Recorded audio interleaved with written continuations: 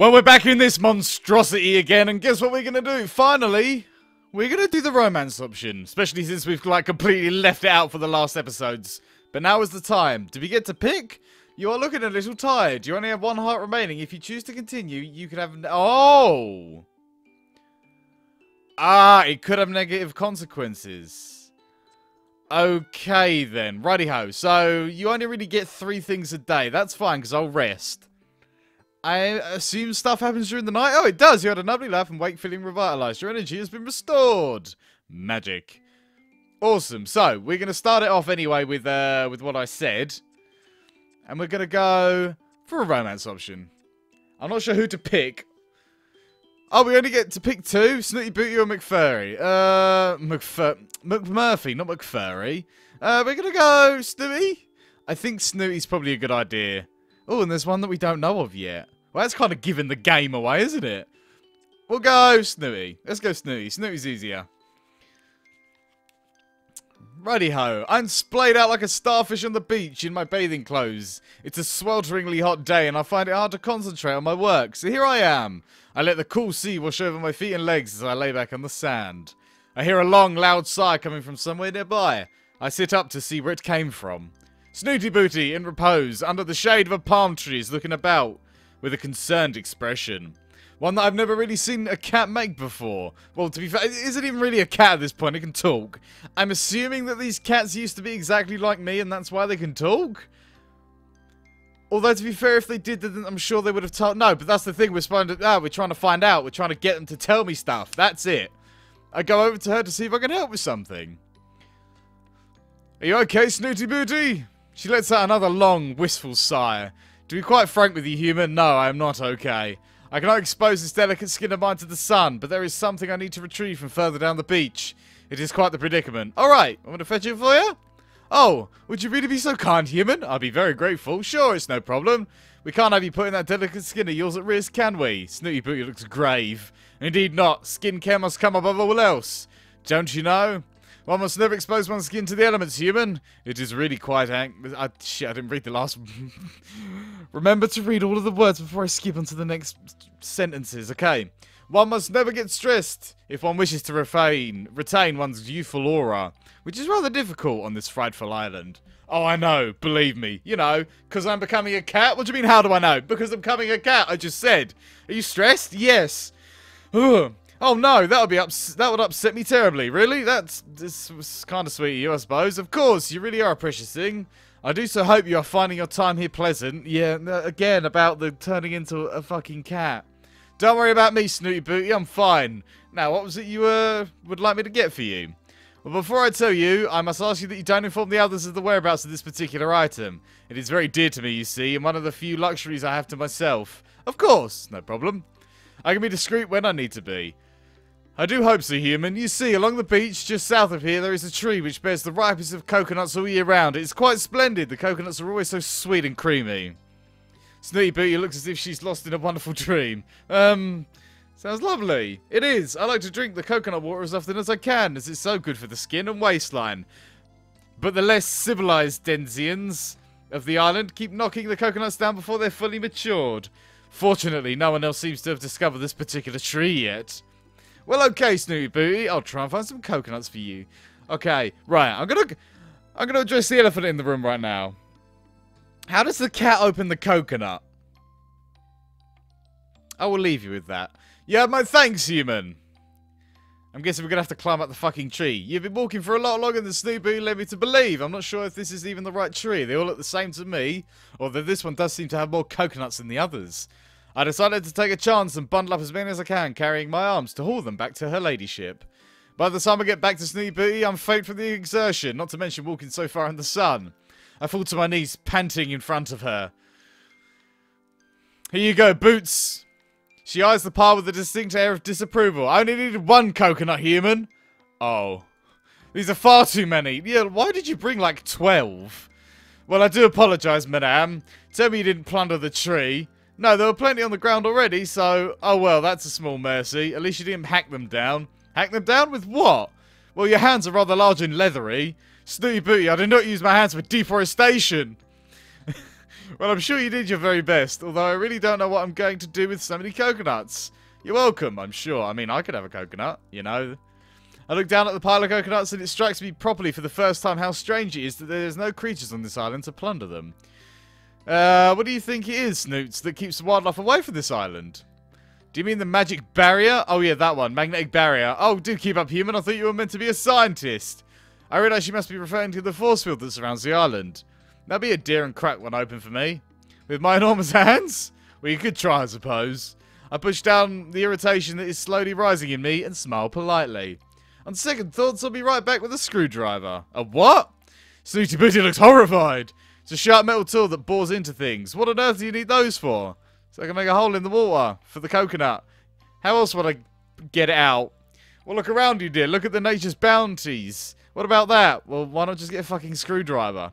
Snooty gestures with a limp paw at a shard of a rock nearby.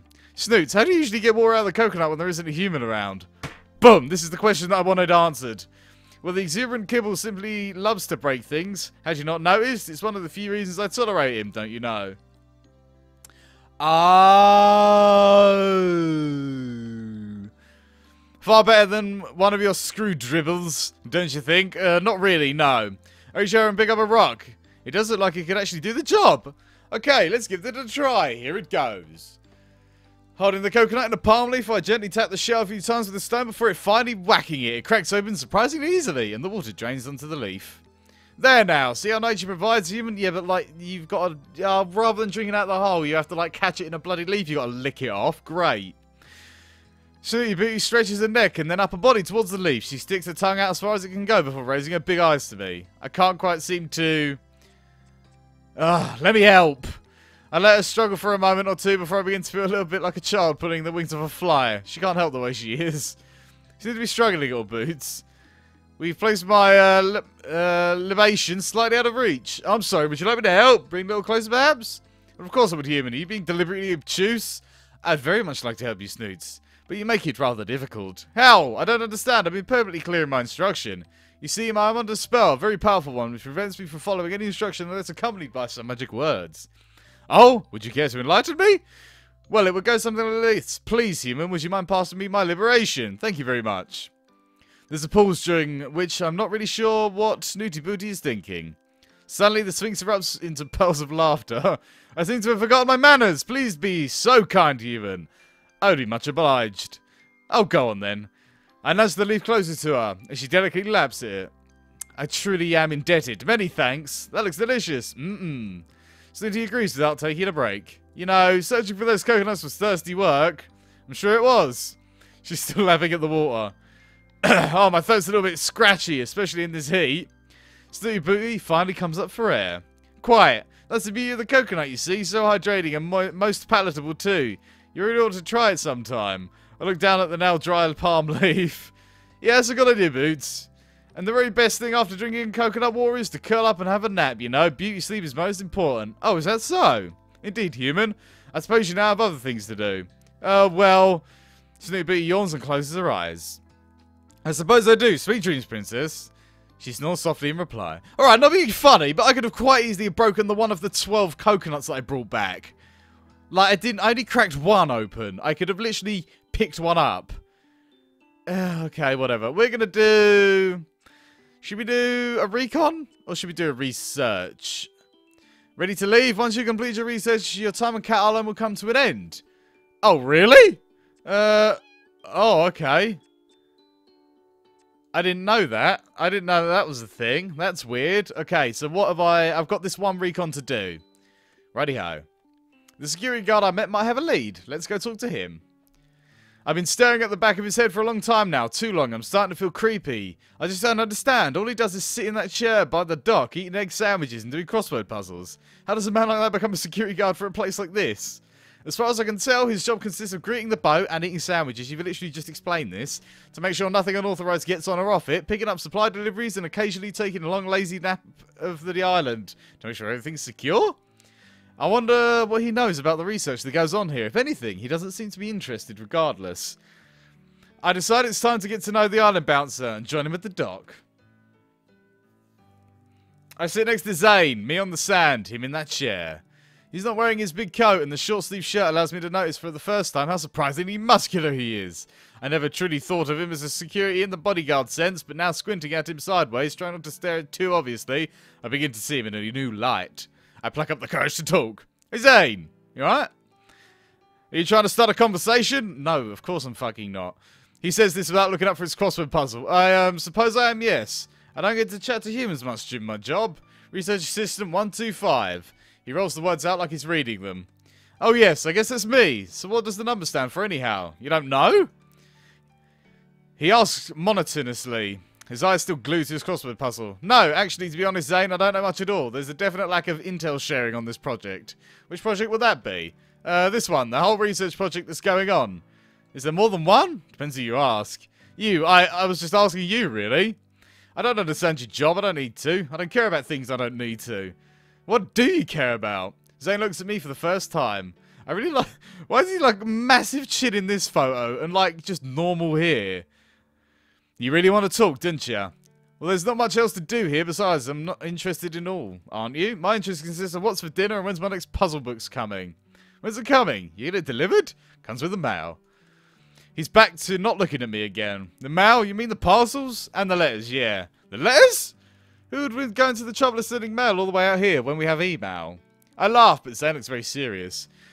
It's safer sending mail the old-fashioned way. With email, there's viruses, hackers, worms, cyber terrorists. I get the feeling he's not very tech-savvy. Yeah, but anyone can open and read a letter, right? Not if I'm around, and besides, who would suspect that something important would be a fragrant pink envelope?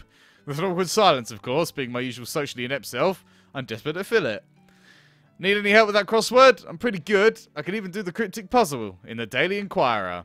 This line usually gains me a little kudos, but Zane simply ignores me. I decide to come out and say what's on my mind. I mean, I can't make things more worse. Zane, have you ever noticed anything strange going on here? Cats behaving weirdly? Zane suddenly looks up, his eyes looking straight on mine, unwavering and hard. No. Have you? Well, not exactly, but he's looking at me properly for the first time since we met. I've definitely captured his attention, but I'm too nervous to follow through. I'm just being silly. The lack of human company gets to me. Gives me a daft ideas. Such as? He's still staring at me, though he's trying to read my mind. Sometimes when I'm out tagging, I feel like they're playing games with me, like children, hide and seek, that kind of thing. Some of those cats may be cleverer than any of us give them credit for. Now it's my turn to be intrigued. In what way? They know when to stay out the sun. You're going pink. The moment, if there was one, is over. I decide maybe Zane isn't the best person to talk about my concerns. Feeling unwanted and slightly dejected, I decide to head back to camp. I stand in the brush and uh, get the sand off me. What's the five-letter word for solitude? Alone. Zane silently scribbles in his book as I leave. Cool. I can't... That's, uh...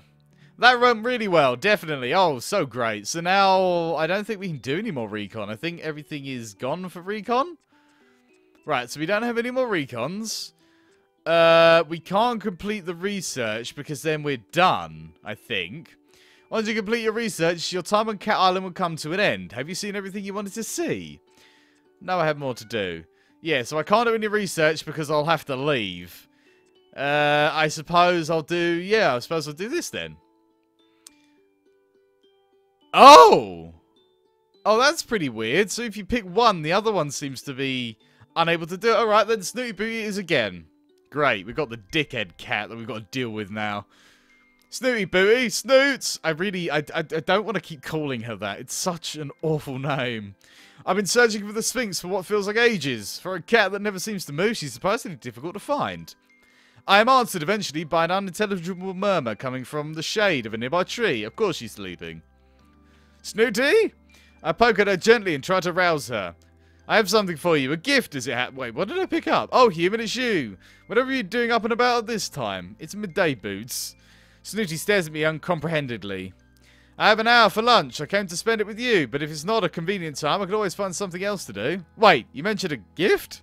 Well, yeah, I suppose. I had the idea when we were drinking. Well, when you were drinking from the coconut.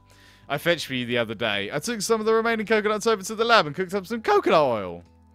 Snooty Booty opens her mouth wide. I sit awkwardly, staring at her, unsure what exactly she's doing. Well, I'm ready for my breakfast, human. It's hard sometimes to know whether to laugh or, sp or spit with this spoiled feline. No, Boots, this isn't for eating. You mentioned how good drinking coconut oil was for you, so I thought you might like some coconut oil to rub into your skin. Keeps you moisturized and youthful. Aren't you terribly clever? I can't help but blush. Snooty Booty really compliments anyone, so I feel honoured. You may begin. I may begin. Snooty lolls onto her back, exposing her plump pink tummy to me. Oh, you want me to rub it in for you? Oh my god, it's a, it's a cat. It doesn't have fingers. Uh, simply smiles in response. Well, a please wouldn't go amiss. Yes, well, I didn't want to make a fuss, but I would prefer it if you asked first. I sigh. There's not much point in arguing with Princess Snooty. I don't think she actually means to be rude. Sometimes she just doesn't seem to understand how to talk to people as equals. I don't have the energy to deal with that today, but make a note at some point. Uh, she and I are going to have a little chat about etiquette. Please, may I rub this coconut oil into your skin? Yes, you may. I pour some of the pungent liquid onto the palm of my hand and rub it together with the other. I have no idea what I'm doing. I've never massaged anyone before, but I work along the lines of putting sun cream on a friend. As a, oh, oh, God. Okay. I, oh no, I don't. I don't want to read this. As, uh, as I touch the warm, loose skin on Snooty's primordial pouch, I'm struck by how delicate she really is.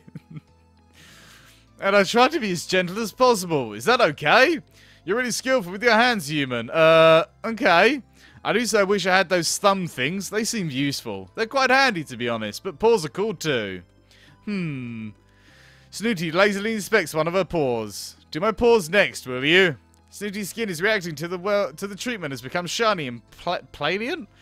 I see the good is uh, the good it's doing. I move on to massage her paws, but I'm quite taken aback by the length of her claws. Oh my boots, your claws are really quite long. Don't you use a scratch post or anything?